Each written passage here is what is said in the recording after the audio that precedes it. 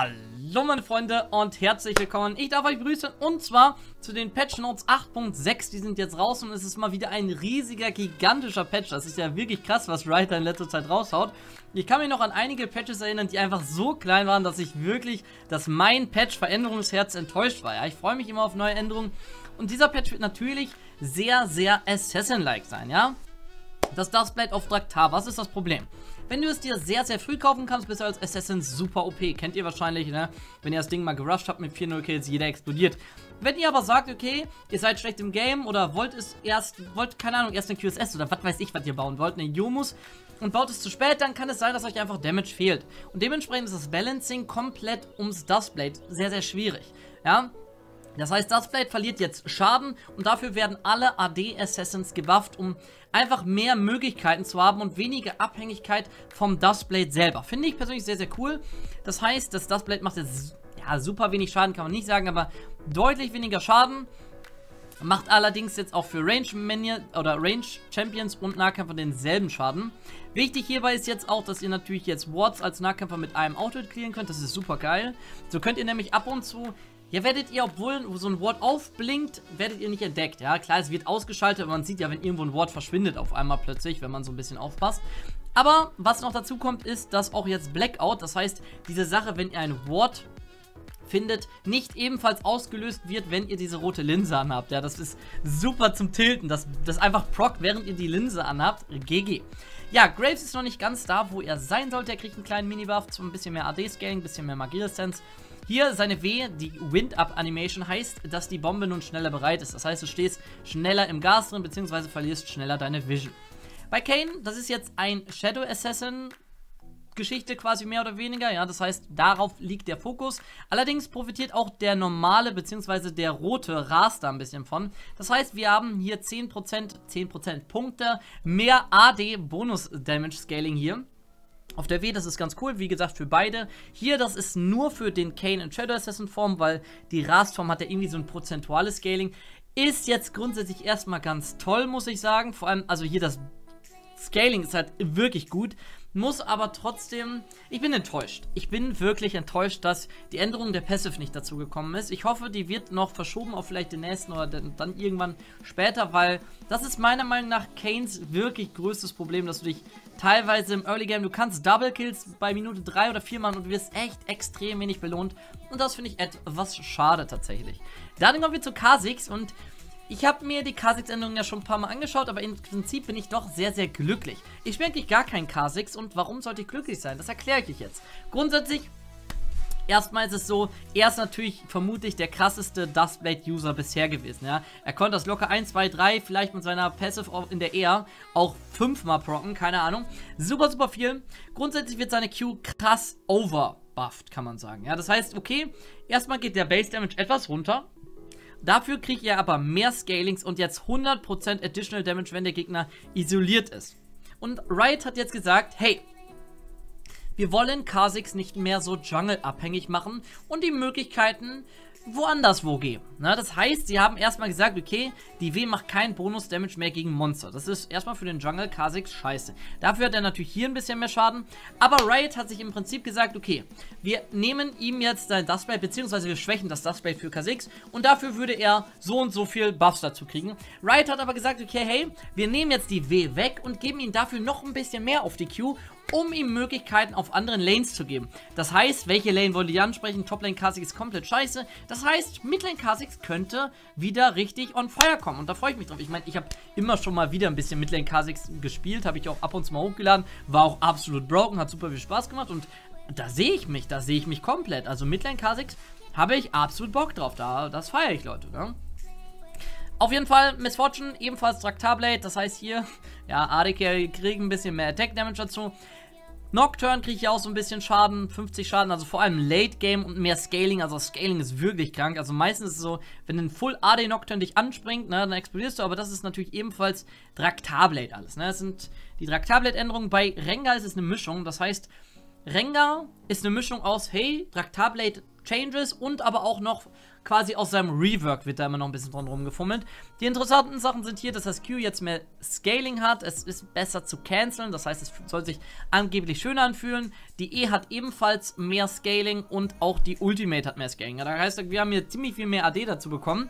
Ne? Ich meine, es gibt ja viele, die bauen ihn Off-Tank, aber das ist schon ziemlich krass, weil das ist ja Total Attack Damage. Ne? Total Attack Damage hier bei der E leider nicht, aber ne, Total Attack Damage ist immer schön. Gehst du Tank, machst trotzdem mehr Damage. Shaco ebenfalls, das finde ich übrigens super cool, denn seine Q macht jetzt wieder Schaden. Klar, es macht kein, nicht mehr so diesen Traktarblade Damage und es ist quasi die Traktaränderung. Aber eine Q, du, du, benutzt die Q und machst einfach keinen Schaden. Das fühlt sich einfach nicht richtig an. Das fühlt sich nicht schön an und deswegen finde ich die Änderung wirklich geil. Dann kommen wir zu Talon, der ist natürlich genauso betroffen und hier muss ich sagen, ich freue mich glaube ich schon über diesen Patch. Grundsätzlich ist es erstmal so, dass seine Passive gebufft wird, allerdings ist der Schaden von 1 bis 11 gleich. Das heißt, ab Level 11 haben wir mehr Damage, also unser Late Game ist besser, ist auf jeden Fall cool. Dafür hat aber unsere Ult 20% mehr Prozentpunkte, muss ich immer sagen, ja, Prozentpunkte mehr Scaling und das ist super krank. Vor allem ist das nämlich, wenn ich mich jetzt nicht komplett vertue, pro Use, ja, das heißt raus Blades, rein Blades und das ist unglaublich viel. Das Ding außerdem ist, dass jetzt quasi, ich habe immer Yomus First gebaut. Das heißt, ich werde gebufft, obwohl ich Yomu bzw. nie Draktar First gegangen bin. Das heißt, mein Early Game, so lange bis ich Yomus baue und kurz vom Draktar gehe, ist super krass gebufft worden. Ja, ich habe mehr Damage gebaut, obwohl und im Prinzip kein Damage verloren. Ne? Ich finde Yomus First einfach super geil. Draktar baue ich wirklich nur, wenn ich behind sein sollte. Und das ist echt schon top, da freue ich mich drauf. Also der Ultimate Damage war auf jeden Fall zweifach. Das heißt, wir haben einfach 40% Scaling dazu bekommen. Das ist OP. Das ist wirklich OP, das ist GG, das ist holy shit, die Gegner werden so explodieren. Dann geht's weiter mit Wukong, auch Traktarblade, dies, das. Wukong ist aber auch generell relativ schwach, muss man sagen, aktuell. Er kriegt mehr Scaling auf seiner Q, wenn er Punkte reinpackt. Normalerweise sollte man immer, ich habe letztens gelesen, ja, hey Tobi, ich max ganz gerne die Q. Ihr solltet auf jeden Fall die E-Max auf Wukong, die ist super geil, also als erstes. Und deswegen, aber ich wusste auch gar nicht, dass das Scaling, also weiß ich nicht, ne? Ist auf jeden Fall ganz nett, aber dass er so ein scheiß Scaling hat, das sind 10% AD-Scaling, Leute. 10% auf Stufe 1. Das ist super RIP. 10% ist GG. Ja, dann haben wir noch Z mit dabei. Z macht jetzt weniger Schaden an Zielen, wo sein Q durchgeht. Das heißt, das erste Ziel waren ja immer 100% und das zweite waren 60%. Jetzt sind es nur 50%. Also hier haben wir einen kleinen Nerf. Es ist also wichtig, dass man die Ziele versucht zu treffen. Ich meine, das war schon immer wichtig, aber jetzt merkt man es halt richtig krass. Das ist der Damage. Du kannst nicht einfach das Blade durch die Minions durchwerfen und dann auf den Champion, da kommt einfach nichts mehr durch, ne? Dafür ist allerdings gewafft worden, dass du jetzt 100% Schaden durch deinen zweiten Schuriken machst, ja? Das heißt, Schuriken drauf, dein Geist wirft auch noch Schuriken, war bisher 75%, sind jetzt 100%. Ja, das ist der Traktarblade-Buff. Außerdem kriegt er mehr Scaling, beziehungsweise ja, mehr Damage im Late-Game auf seiner Ultimate. Ja, hier haben wir 40 statt 35 und dann 55 statt 45. Ist auf jeden Fall geil. Kaiser kriegt auch super viele coole Änderungen. Kaiser ist aktuell so, dass sie wie soll man sagen, wenn sie einmal fett im Game ist, ist sie sehr, sehr stark, aber sie hat Probleme, fett zu werden und wenn sie natürlich gar, also sie braucht so ein bisschen, ja, so ein bisschen mehr Power im Early Game, beziehungsweise hat sie halt wirklich Probleme und kriegt oft auf die Fresse. Das heißt, deswegen wird erstmal ihre Attack Range erhöht, gerade in der Lane kriegt sie zu oft in der Fresse. Außerdem macht sie jetzt mehr AP-Scaling auf ihrer Passive, das ist sehr, sehr cool, also wirklich deutlich mehr AP-Scaling. Außerdem auch mehr AP-Scaling auf ihre Q. Ja, man hat hier gesagt, die AP-Komponente ist einfach noch zu schwach. Hat jetzt quasi 0,4 und auf das ist halt wirklich krass. Wenn alle sechs Raketen treffen, ist es ein hundertprozentiges Abyss-Gang. Das ist super gut. Das ist echt saustark. Voidseeker kriegt zwar etwas weniger, aber hier steht extra, es ist kein Nerf. Weil unsere Passive, die wird ja direkt mit drauf gemacht, wurde der Damage erhöht und dadurch gleicht sich das quasi aus, ja. Das kann ich nur Ausgleich. Ihre E wird jetzt schneller gecastet, das heißt, sie ist nicht so lange oder kann nicht so lange nicht angreifen. Außerdem kriegt sie mehr Move von Speed, das ist cool. Und bei ihrer Ultimate haben wir ebenfalls, dass sie jetzt weiter springen kann. Also der Radius um den Gegner, wo sie hinspringen kann, ist etwas größer. Sie muss also nicht direkt in sein Gesicht springen. Und das Schild wird sofort beim Sprung aktiviert. Ich glaube, das ist auch eine super geile Änderung. Hält aber trotzdem danach drei Sekunden. Ja. Dauer ist also gleich, fängt aber schon früher an. Also die Dauer nach dem Sprung. Dann haben wir noch Lee Sin. Spielt kein Sin, bitte. Spielt kein. Lee Sin kriegt jetzt mehr Energie wieder mit der Zeit. Das ist eigentlich ziemlich cool. Ist ganz nett. Das benutzen auch. Also, das solltet ihr halt als Lee Sin-Spieler wirklich lernen, damit umzugehen, dass ihr die Energie komplett reinkriegt. Das hier finde ich wirklich krass und zwar kriegt er jetzt 100 mehr Range auf der Q. Das könnte echt hart werden, weil oft hast du so diesen Lee Sin-Moment, wo du wegrennst und der Gegner will dir das Q hinterherwerfen und du willst dann ausweichen und Du denkst einfach, du kannst es dodgen, aber dadurch, dass die Range jetzt hörst, du musst dich wirklich dran gewöhnen, trifft er dich, ne? Du denkst, okay, hey, das trifft mich nicht und darauf trifft es sich. Das ist wirklich immer ein sehr, sehr schlimmer Moment, ne? Aber ja, weiter auch noch viel, viel Schaden auf der Ultimate. Das wird eh bald irgendwann wieder reduziert werden, also macht euch absolut keine Hoffnung. Das war schon 100 Mal bei 600 und wurde schon 100 Mal wieder auf 450 reduziert. Naja, ich weiß nicht, wie wir das noch machen wollen, aber im Prinzip sind das die Ausgleichs dafür, dass sein Tracker-Snipe weg ist. Aber Lee Sin ist scheiße, Leute.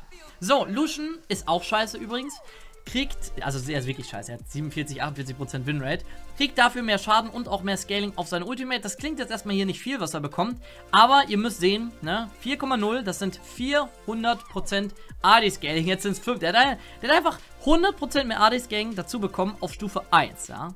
150 auf Stufe 3. Aber natürlich, es ist bei allen Schüssen. Ja. Du musst alle Schüsse durchkriegen, damit das Scaling wirklich durchkommt. Aber Lucians Ultimate ist einer der stärksten Ultimates im Game, was den Maximal-Damage angeht. Ne?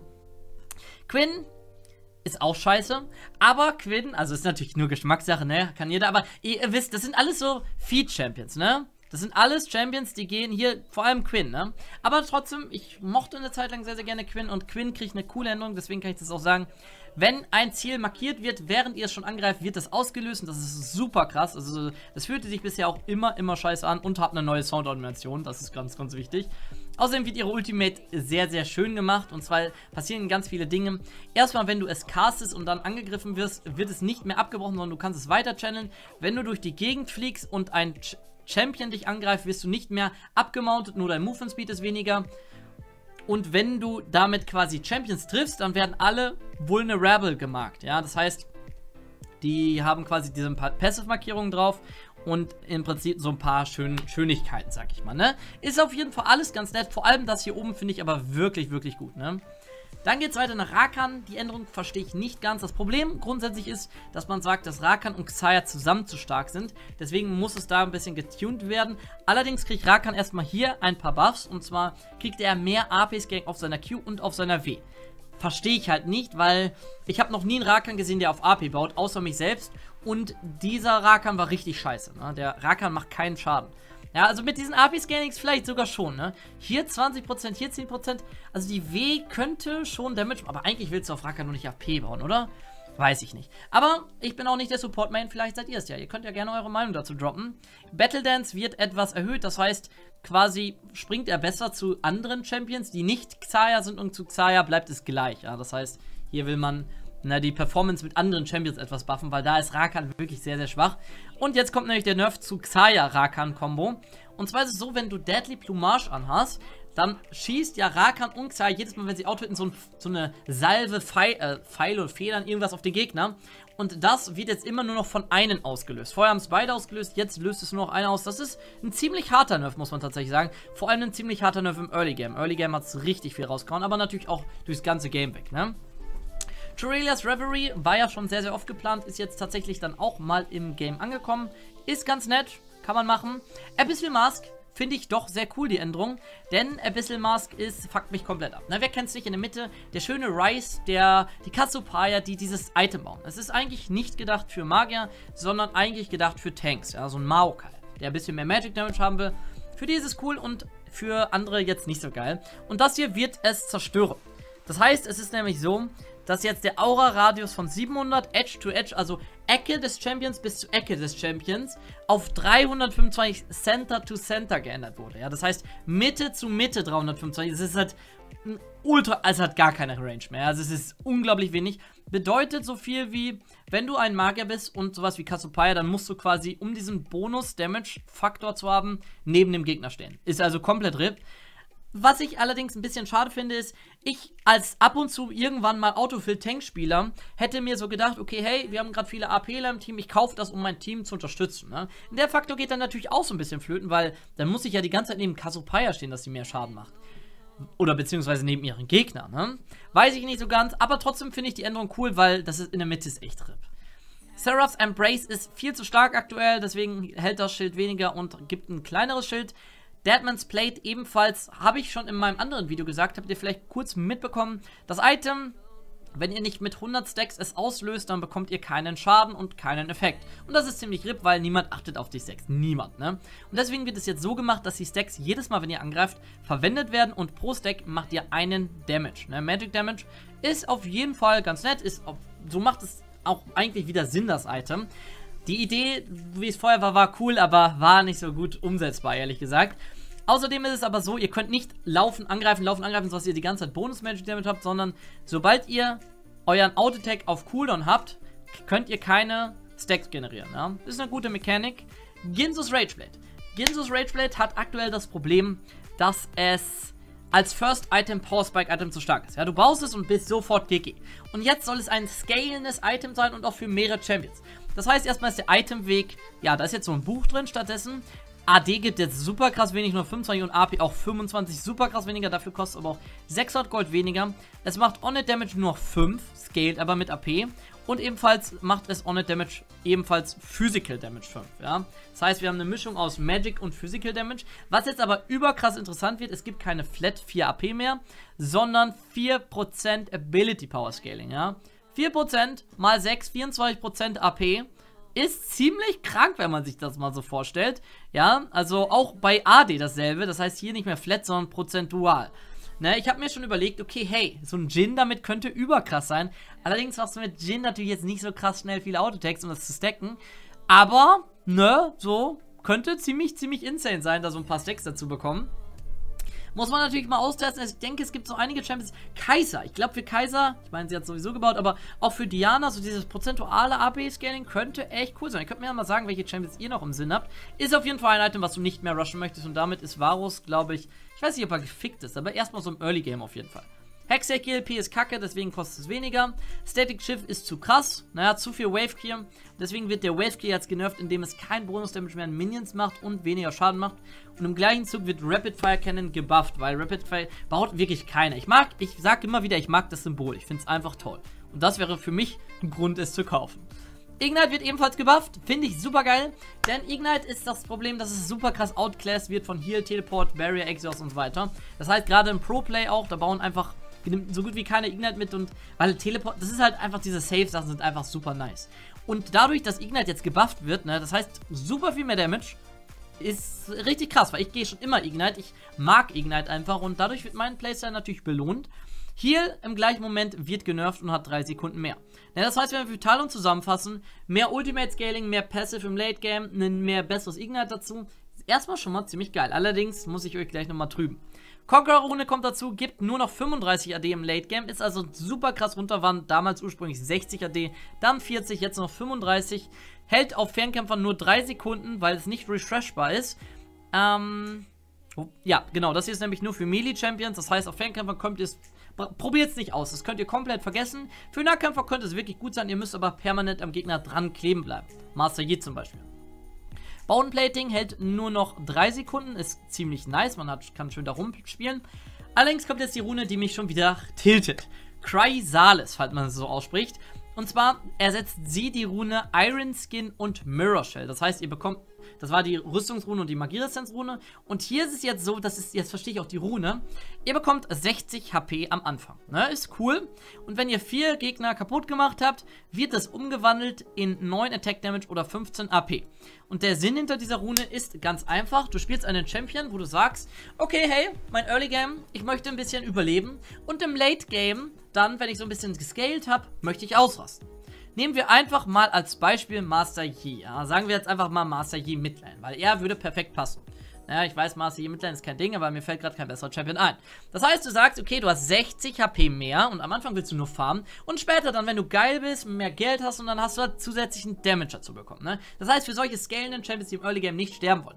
Und ich hasse diese Rune, weil im Prinzip wird jeder diese Rune auf Talon nehmen. Diese plus Bone, ich weiß nicht, ob Bone Plating noch so geil ist, aber Ne, plus Boneplating und du bist im Early Game, du hast 60 HP mehr. Das ist der perfekte Assassin-Counter einfach, ne? Der absolut gut.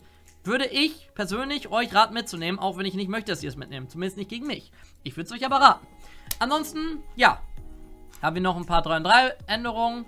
Ne, Honor, Voice Chat kommt ebenfalls dazu und damit sind wir auch durch. Das, ich habe wirklich durchgerusht. Ihr könnt mir absolut eure Meinung nennen. Ich bin froh darüber, über jede Meinung. Mich hat es auf jeden Fall gepackt. Hier sind coole Sachen drin. Ich wünsche euch was. Auf Wiedersehen und tschüss.